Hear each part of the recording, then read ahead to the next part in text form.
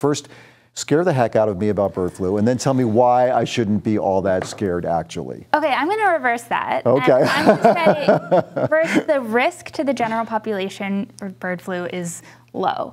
Um, this is not a virus that has we have any evidence that spreads between people. The testing programs that are happening, they're they're testing milk from dairy farms and they're also testing hospitalized flu patients to say, you know, what type of virus do you have?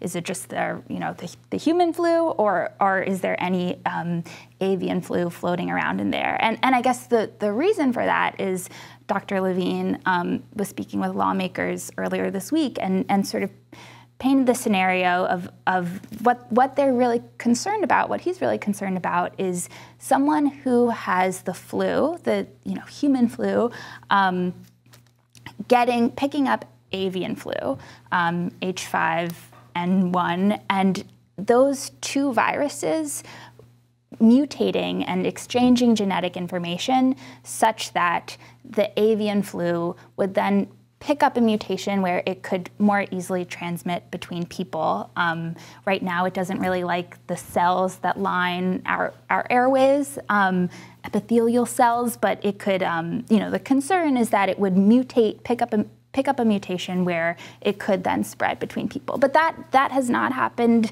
and it may never happen.